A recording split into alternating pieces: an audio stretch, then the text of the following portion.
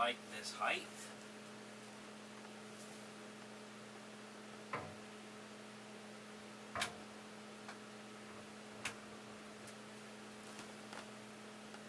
I really do. I think this is going to be the height. If not, just a hair shorter so I could put a pillow under my legs and put my legs up while I work. And that might be a better deal. Legs are starting to bother me some being down when I have them down for long periods. So if I made it just a hair shorter, where I could toss a pillow like that up under them, and I wasn't elevated, which means almost dropping it three inches realistically. Hmm. Good question. Good question. The only other thing I could do is keep it this height and just put throw a towel up there, some sort of padded towel or a thinner piece of foam may work much better, or a regular pillow even. A smaller pillow up there. I'm not sure. Hmm.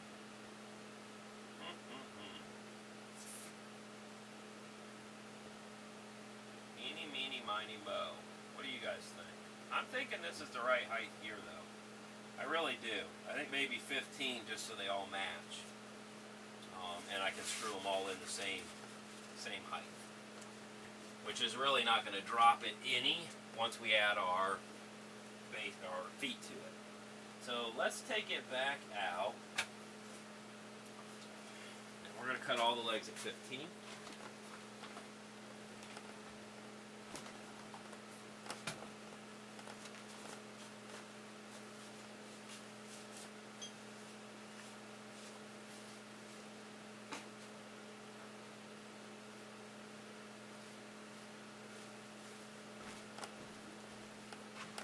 What are you doing in here? Come back out there with me.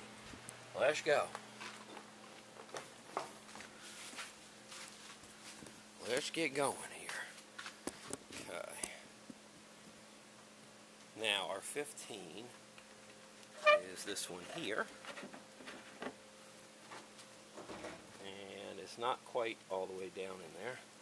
And I can't get it back out, so I need to actually flip it over and put the jagged side well, I don't really have to put the jagged side in. I do have to get it flat. Okay. Because then we're going to screw this on and measure our height. So we're putting this one back on. We need to measure the height of this one. And then the rest will get cut to that length. We don't really know what that length is. We know it was 15, but we don't know what it is off the the highest ridge. So the highest ridge on this one is actually on the back side. And, oh, that's coming in right at 17. Huh. Now that I got it pounded, I don't know how, but I guess the extra bit, make sure they're all at 17. 17. That one's slightly higher than 17. This one is 17. It's slightly higher than 17, like 17 and a quarter. Let's see. 17 and an eighth. Okay. This one's just slightly under 17. What we may need to do, make ourselves a little jig, and then cut these all off We'll see. And if we did that, what we would want to do, take them all out. Uh, and lay them all side by side. Because one of the worst things is, if you notice, all our edges, especially like where it broke and whatnot, are not lining up correctly.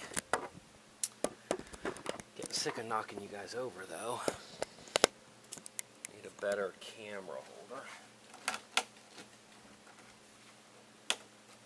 other one better. It's got an aluminum base.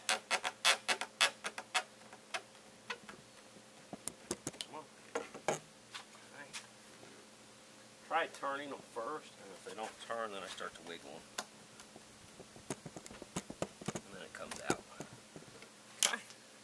So if we turn these around and look at them, our cut's really kind of soft. Take a look. I want you to see what the tool does. So none of these cuts are straight. What I'd like to do is recut all of these so they're all perfectly flat.